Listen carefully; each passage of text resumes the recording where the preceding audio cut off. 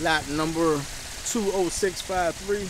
We got a 2012 Chevy Impala. The vehicle started up without a jump. It's currently running.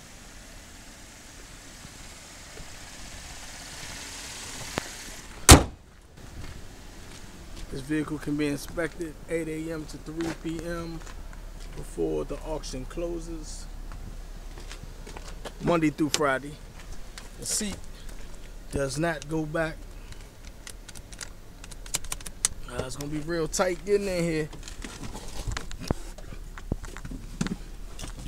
36,626 miles. Radio works. Power windows.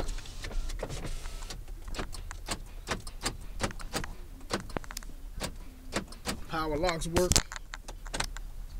Check engine. Light is on the service engine.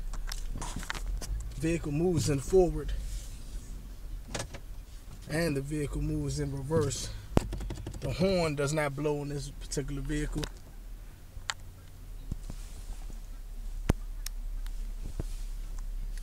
True mechanical conditions are unknown.